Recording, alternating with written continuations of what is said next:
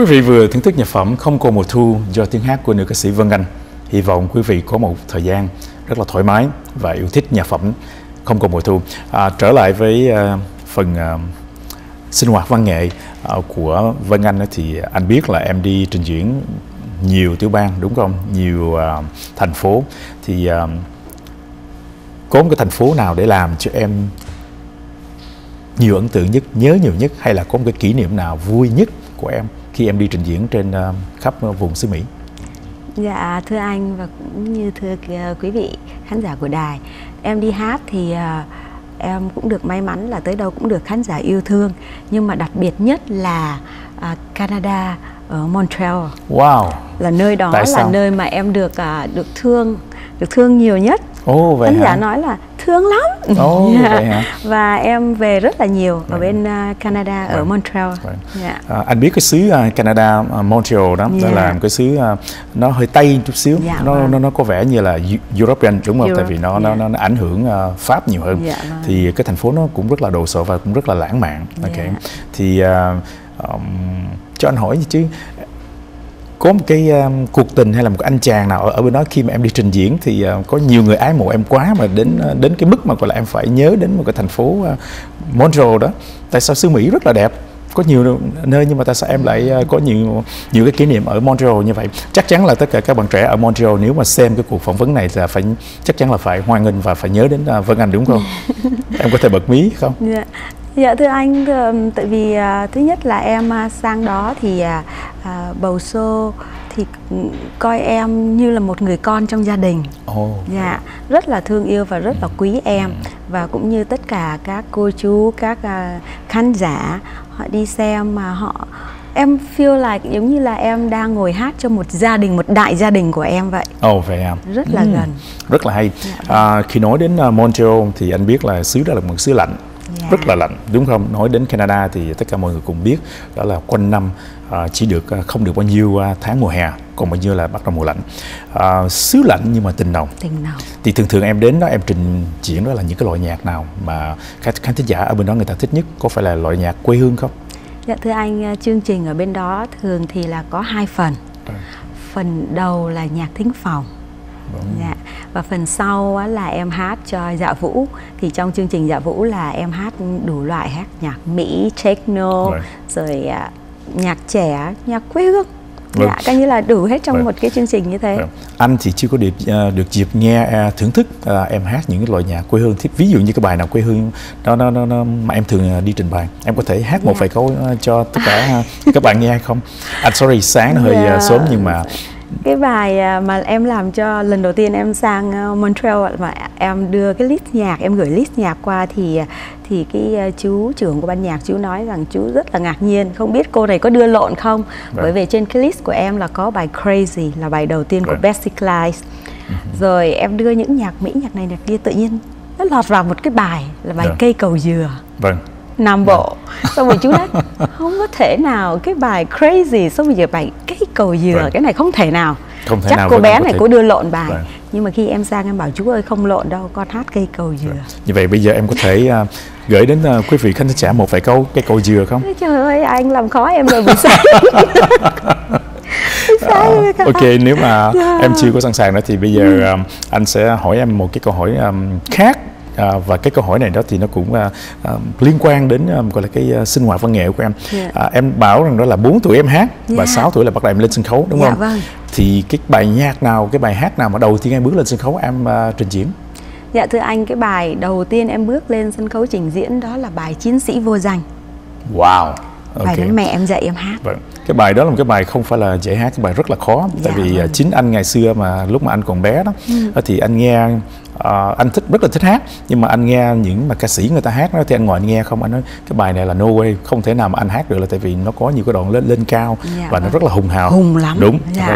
uh, em có một thân hình rất là gầy nhỏ bé mà em hát những cái loại nhạc anh thấy là khi mà em hát những cái loại nhạc sống động đó, đó thì em hát rất là powerful thì ừ. um, em tập như thế nào hay là đó là một cái bẩm sinh trời cho em dạ, thưa anh uh, có được chất giọng này là là do thiên phú do trời cho em nhưng tuy nhiên em cũng uh, tập bởi vì em có thầy thầy vâng. em là nhạc sĩ quốc khâm đã dạy cho em cái cách uh, luyện thanh và vâng. tập hơi vâng. bởi vì hát cái hơi là quan trọng nhất vâng đúng dạ. rồi đúng rồi um, trở lại cái vấn đề mà những cái tấm hình đẹp như lúc đầu anh nói đó anh xem uh, ở trong internet cũng như là những cái hình ở trong những cái album mà anh xem đó, thì uh, bất cứ một cái hình nào mà em đưa lên trên net đó, em chụp nó nó có vẻ rất là bốc lửa rất là hấp dẫn. Đó mà người Mỹ mình uh, thường gọi là sexy ok? Nhưng mà anh cho nó là very glamorous shot tức là chụp một cái kiểu phải nó theo một cái angle rất là nghệ thuật đó nó có vẻ là nghệ thuật nhưng mà nó hấp dẫn người ta.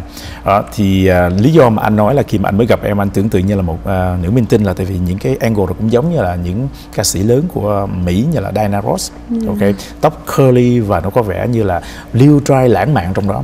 Thì những tấm hình đó là ai chụp cho? Dạ thưa anh à, cũng là ở Việt Nam chụp cho em. Ồ dạ, như vậy tại vì à? em em chụp ở bên đây nhưng mà hình như là em không có duyên chụp bên này á em chụp tấm nào ra em cũng nhìn xấu quá. Em nói như vậy đó thì anh ờ, anh nghĩ là những cái nhà mà phải nói là nhiếp ảnh gia ở bên mỹ này người ta sẽ rất là buồn là tại vì uh, tất cả mọi người đều muốn đến đây để có những cái shot rất là đẹp. À, nhưng mà em tại em được. thôi tại em à, tại không em biết sao oh, em, em chụp bên này em ra tấm nào buồn quá. À, như vậy những anh à, nào mà có mắt nghệ thuật về chụp ảnh nên tìm đến Vân Anh để chụp cho mình một tấm ảnh để cho Vân Anh vừa ý. Đúng không? Hy vọng là vậy. À, bây giờ đó thì à, cho anh hỏi à, về cái sinh hoạt uh, văn nghệ của em em đi hát em hát những loại nhạc sống động rồi em hát những loại nhạc nhà thính phòng như là uh, trở về bến mơ ừ, dạ. nỗi lòng. Thì um, khi mà anh nghe những cái um, là phím đàn dạo vào xong rồi nó rất là nức nở nó rất rất là buồn. Và em cất giọng lên em hát một cái loại nhạc là rất là jazzy. Vậy thì cái cảm giác của em như thế nào? Dạ thưa anh khi à, trước khi mà em à, à, trình diễn hay hát một bài thì em cũng à, đọc kỹ lời của bài nhạc. Rồi em đi hỏi những người lớn là cái bài nhạc này à, được viết ra vào lúc nào và hoàn cảnh nào.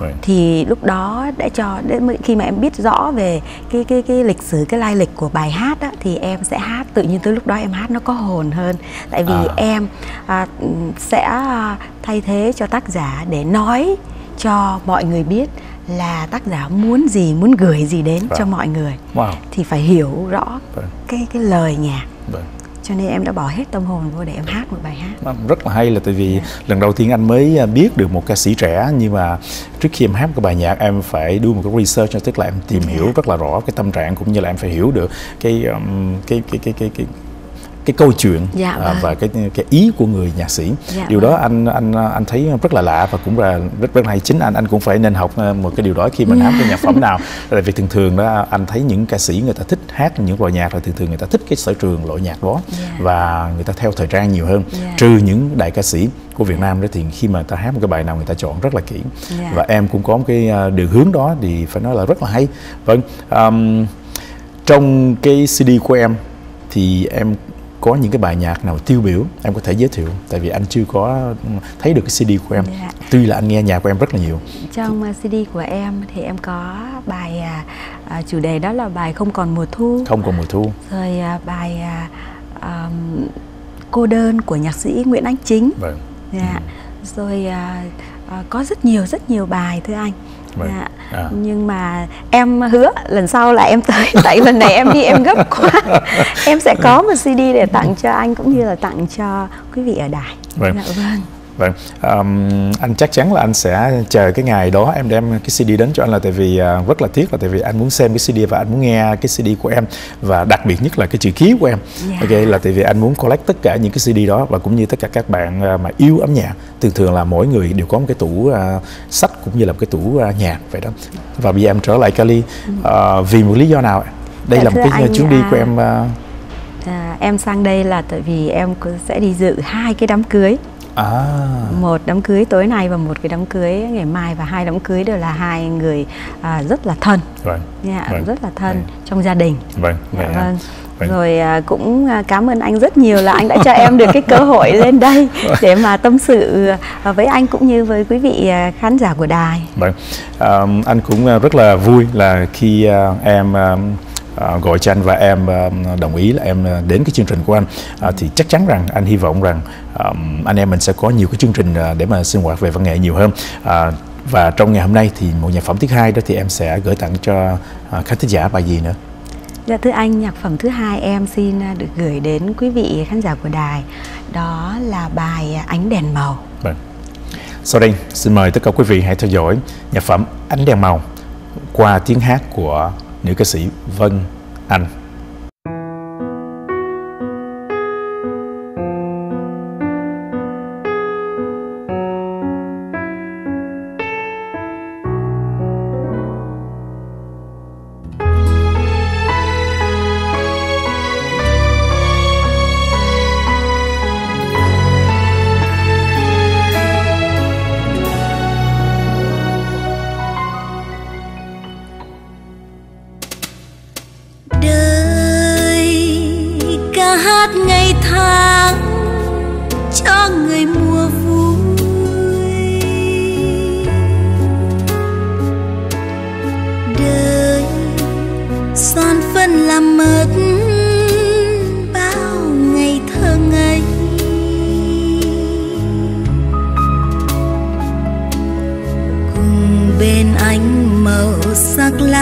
lộng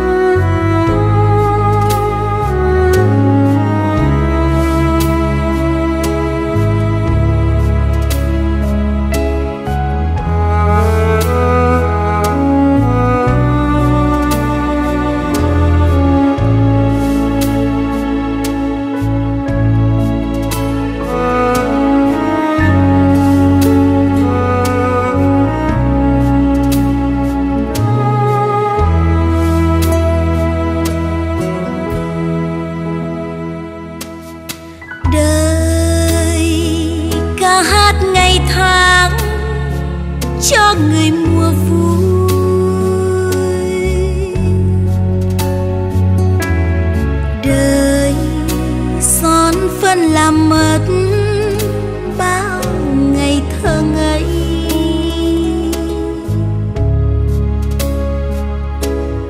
Cùng bên anh màu sắc lạc lõng, trong tiếng đàn hát đêm thâu rồi bao nét nhăn về theo tháng năm, đời lãng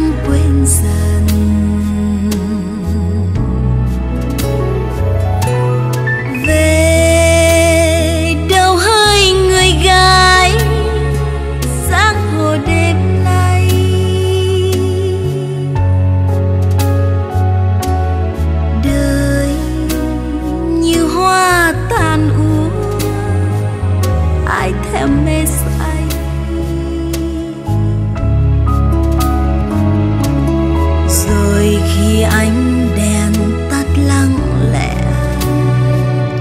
Trong đêm, người ta lãng quên, đời ca hát ôi